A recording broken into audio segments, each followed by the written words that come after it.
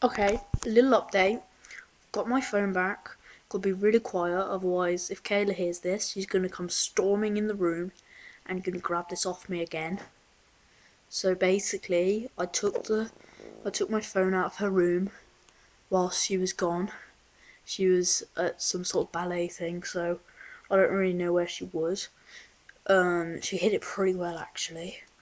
Um, so I I found it after quite some time looking, and if you're wondering what I'm looking at, I'm looking at the door to make sure she doesn't come in and pull the handle. Um, so basically, I took the phone, and then I was like, why don't I take the book as well? I might as well.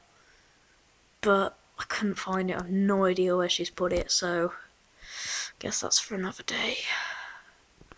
Right, I'll give you guys an update, um, maybe tomorrow or something like that, and I'll see you then. Goodbye.